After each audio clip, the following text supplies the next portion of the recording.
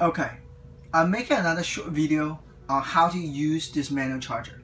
Now this is actually the most critical piece because these batteries, these batteries, is going to cost you about $150 each. On top of that, it's 65 pounds each. It's a nightmare to take, think about it, 12 of them. It's huge, it's heavy, and it's expensive and that's just pure costs. And think about labor and the electrician and other crap crap um, it's gonna be very costly. If you change all these batteries think about three grand. Easy. But okay so how do you revive these batteries using this manual charger?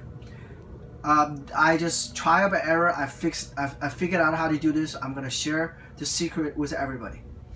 Um, you what you do is you need a manual charger you can get this. It's like I think it's 20 bucks, 25 to maybe 35 dollars. Um, you can get a manual charger like like this. You need a 12 volt. The reason you need a high volt is because you want to have a high voltage than the battery uh, itself, so that it has higher pressure to push through. And you want a low currency because you don't want to burn the battery. Otherwise, the battery gets really hot. Now, if you did it, do this on your own, and people will tell you, wow, this battery is gonna heat it and it's gonna have a lot of uh, poison gas and it's gonna have tons of bad smell. Don't worry about it. None of this is gonna happen. None. Okay? Um, I tried, I, I was told about the scary stories. That doesn't happen. Um, basically what happened is uh, if you have, but you have to put at 2 amp. I'm gonna say one more time. 2 amp. If you put 10 amp, uh, which I tried, it was burning hot. So don't do it. It may it may cause some serious problem.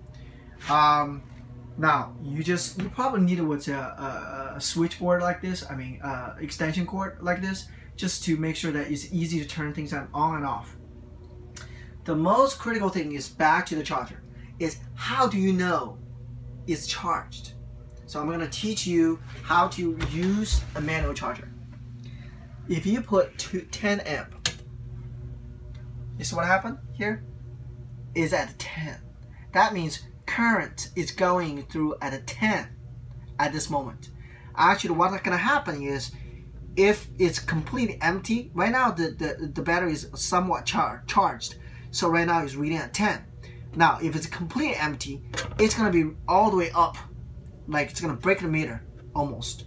So, um, it, it's but right now, that doesn't mean the 10 is correct. It's, it means 25% charge. It's not.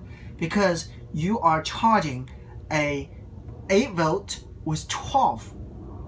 Again, you are charging 8 volt battery with 12 volt charger.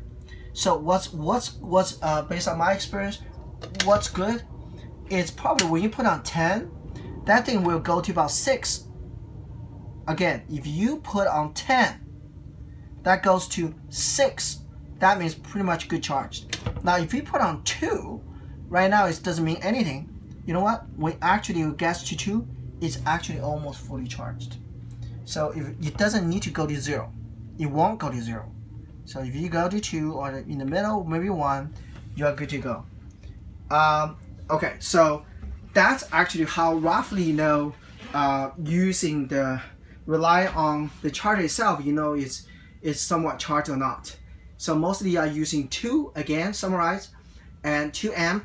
And uh, if you are reading at, say, 2 or 1 or even 4, you are maybe good, but you're not sure. So what do you do? You go back to your voltage meter.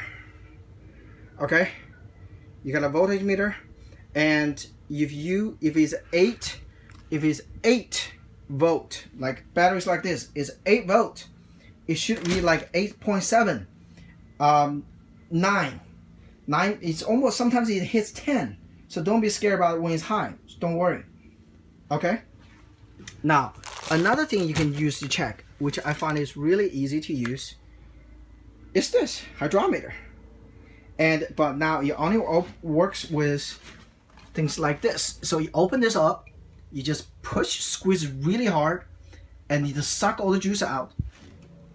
And fill this up and let it dip a little bit. Let it dip a little bit. So some juice gonna go out. and most of the juice gonna just stay in there. And you hold it up like this vertical, and it goes into the blue box. You are golden. And most of the time when you have a dead battery, it's gonna go all the way here to the end, like what is now. So, uh, but you, with this one, you kind of have to be careful. You see what's inside? Acid. It's gonna burn people. So with this, you kind of have to be careful. Uh, but you don't necessarily, honestly, you don't necessarily have to be as careful uh, as many places, you know, many places people uh, people said. You just have to be careful. Get a gloves. Any kind of glove, gloves like this will work. Okay? And put aside away from children. Okay, I showed you how to use voltmeter and how, how to use a manual charger, uh, a 12 volt to charge 8 volt. I hope this helps you to save thousands of dollars. All you need to do is say thank you. I'm just kidding. Good luck.